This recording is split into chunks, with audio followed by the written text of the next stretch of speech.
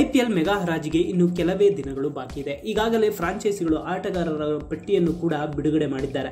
ಹೀಗಿರುವಾಗ ಪಂಜಾಬ್ ತಂಡದಿಂದ ಹೊರಬಂದಿರೋ ಕೆಎಲ್ ರಾಹುಲ್ ಯಾವ ತಂಡವನ್ನು ಸೇರಿಕೊಳ್ಳಲಿದ್ದಾರೆ ಅನ್ನೋ ಕುತೂಹಲ ಕ್ರಿಕೆಟ್ ಅಭಿಮಾನಿಗಳಲ್ಲಿ ಮೂಡಿತ್ತು. ಇನ್ನು ಹೊಸದಾಗಿ ಸೇರ್ಪಡೆಯಾಗಿರೋ ಲಕ್ನೋ ತಂಡವನ್ನು ರಾಹುಲ್ ಸೇರಿಕೊಳ್ಳಲಿದ್ದಾರೆ. ಅಲ್ಲದೆ ತಂಡವನ್ನು ಮುನ್ನಡೆಸಲಿದ್ದಾರೆ ಅನ್ನೋ ಮಾತುಗಳು ಸಹ ಕೇಳಿ ಬರ್ತಾ ಇತ್ತು. ಆದರೆ ರಾಹುಲ್ ಹರಾಜು ಪ್ರಕ್ರಿಯೆಯಲ್ಲಿ ಭಾಗಿಯಾಗಲಿದ್ದಾರೆ. ಹರಾಜಿನಲ್ಲಿ ದೊಡ್ಡ ಮೊತ್ತಕ್ಕೆ ಖರೀದಿ ಆಗಲಿದ್ದಾರೆ ಅಂತಾನೂ ಹೇಳಲಾಗುತ್ತಿತ್ತು. ಇನ್ನು ಲಕ್ನೋ ತಂಡ ಕೂಡ ರಾಹುಲ್ಗೆ ಬಿಗ್ ಆಫರ್ ನೀಡಿದೆ ಅಂತಲೂ ಹೇಳಲಾಗುತ್ತಿತ್ತು. ಆದರೆ ಇದೀಗ ಅದೆಲ್ಲದಕ್ಕೂ ತೆರೆಬಿದ್ದಿದ್ದು ಕೊನೆಗೂ ಕೆ ಎಲ್ ರಾಹುಲ್ ಯಾವ ತಂಡ ಸೇರಿಕೊಳ್ಳಲಿದ್ದಾರೆ ಅನ್ನೋದು ಫೈನಲ್ ಆಗಿದೆ. ಹೌದು, ಎಲ್ಲರೂ ಅಂದುಕೊಂಡಂತೆ K L Rahul I P ಎಲ್ನಲ್ಲಿ ಹೊಸದಾಗಿ ಸೇರ್ಪಡೆಯಾಗಿರೋ ಸಂಜೀವ್ ಗೋಯಂಕರ್ ಅವರ ಲಕ್ನೋ ತಂಡವನ್ನು ಸೇರಿಕೊಳ್ಳಲಿದ್ದು, ತಂಡವನ್ನು ಕೆ ಎಲ್ ರಾಹುಲ್ ಮುನ್ನಡೆಸಲಿದ್ದಾರೆ.